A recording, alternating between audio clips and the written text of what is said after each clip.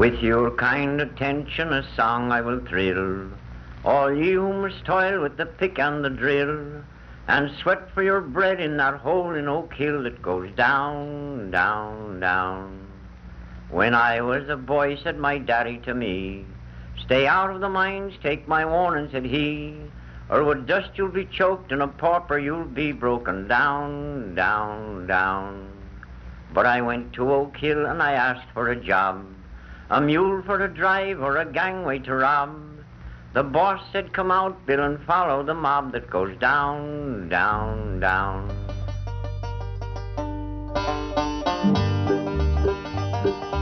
Coal mining has always been a hazardous occupation. From the beginnings of the industry, coal miners have faced dangers from roof falls, haulage equipment, machinery, explosions of gas and dust, blasting, fires, and floods. Underground coal miners worked 12 to 14 hours a day, unsupervised, digging coal by hand. They supplied their own tools and powder.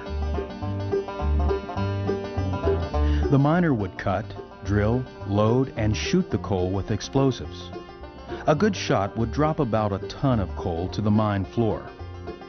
The miner then separated rock and slate from the coal and loaded the clean coal by hand into mine cars. The cars were gathered into trips and transported to the surface. The coal was processed on the surface and then loaded into railroad cars or onto barges for shipment to market. The average coal miner in Appalachia in 1900 produced a little over 1,100 tons of coal. His pay was about $42 per month, often less, because he was paid by the tons of coal he loaded and because of deductions for rent, powder, food, and other expenses. Underground coal miners worked with little or no supervision. They were responsible for production and for safety. This condition of miner's freedom changed over time. Mines got bigger and jobs got more specialized. Larger mines often had a general foreman who traveled to each section of the mine to look at conditions and to assign work. Each section had a boss, the ancestor of today's section supervisor. General foremen often kept no written records and complained that they had so much to do that they could not visit all sections of their mine during a shift. Federal mine health and safety law has grown along with the American mining industry. The last month of 1907 came to be called Bloody December as 692 miners perished in underground coal mine explosions. The greatest of these occurred on December 6th at the Monongah Mine in West Virginia. The blast destroyed the mine's ventilation system, smashed equipment, caused mammoth roof falls, and killed 362 of the 367 men inside. The largest single death toll in a mine disaster in U.S. history. The loss of life in these disasters, especially because they occurred in what had been thought of as safe mines, directed national attention to coal mine explosions and produced an outcry for federal safety legislation. In 1910, Congress passed Public Law 719 to establish the Bureau of Mines. Joseph A. Holmes was the Bureau's first director. Much of the Bureau's efforts focused on finding ways to prevent coal mine explosions. Bureau personnel also conducted first aid and mine rescue training and provided assistance at accident sites. From the earliest days of mining, the search has continued to find ways to safely and efficiently mine ever larger amounts of coal. American mines began to mechanize after the development of the steam engine. Electricity began to be used in underground coal mines between 1880 and 1900. Early mining machines, such as undercutting machines and drills, duplicated the steps of hand loading.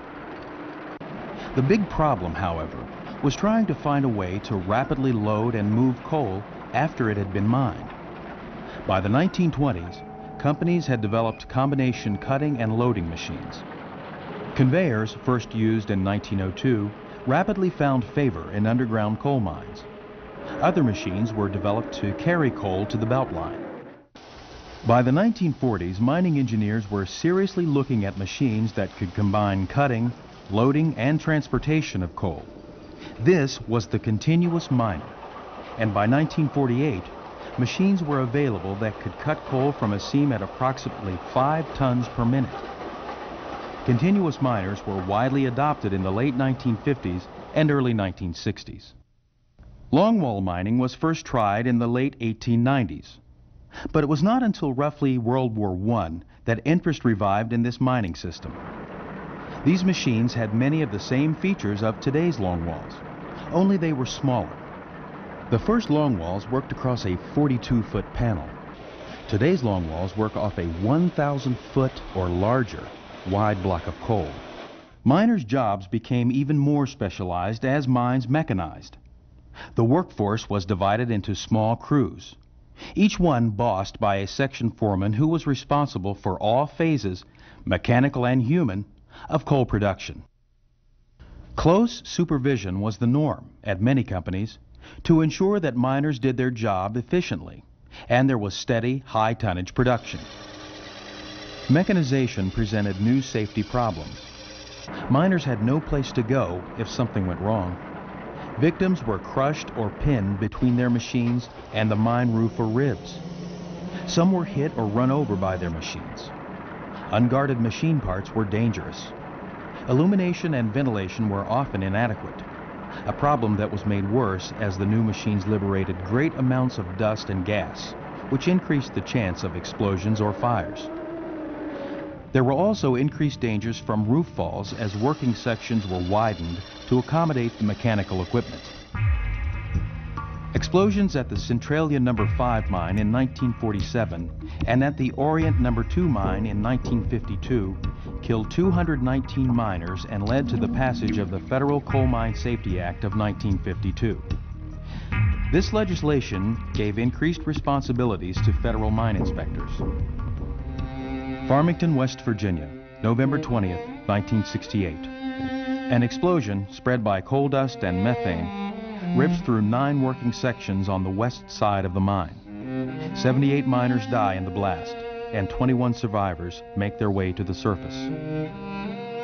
Recovery operations continue until mid-1978, and the mine is permanently sealed in November, leaving 19 victims buried inside.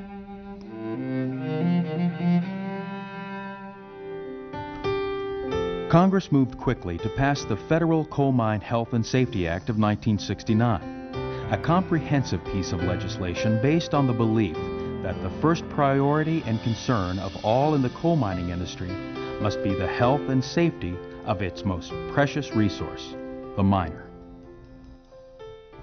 The Sunshine Mine, a metal non-metal operation near Kellogg, Idaho, caught fire on May 2, 1972. Carbon monoxide and smoke killed 91 miners who were working inside. 81 others were evacuated from the mine, and two more men were rescued a week later. The Federal Mine Health and Safety Act of 1977 combined coal and metal non-metal mine health and safety law into one piece of legislation, the law that is on the books today. America's coal mines produce more coal than ever with fewer miners. Our nation's miners operate sophisticated machinery and equipment to safely mine coal in conditions that are often very difficult. What lies ahead? Safety problems continue to be addressed. Concern about safety is reflected in machine design, safety features, ventilation, illumination, dust suppression, gas detection, and many other devices and appliances designed to support mine roof and protect the miner.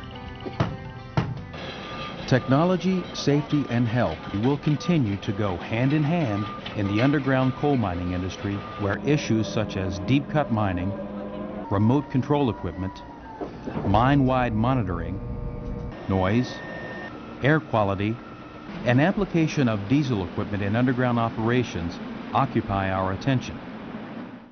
What about the supervisor? You're right if you think that a supervisor today has to be a manager, not just a boss. Modern supervisors have to know how to train miners to do their work safely and efficiently. Supervisors have to know and be able to apply a variety of general and specialized practical knowledge on the job. Examples of this include mining techniques, company policies, and mine-specific plans and programs. They also have to understand and know how to apply an array of company rules, state, and federal regulations. Supervisors need to be safety conscious at all times, expect others to work safely, and set an example when they do their own work.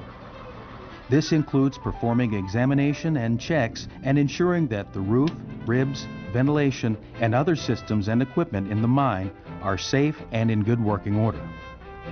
Supervisors also need to have good people skills to balance the needs of the workforce with the needs of the mining company to be successful. You're right if you think it's a tough job and a challenge, but it's an important job and one worth doing well.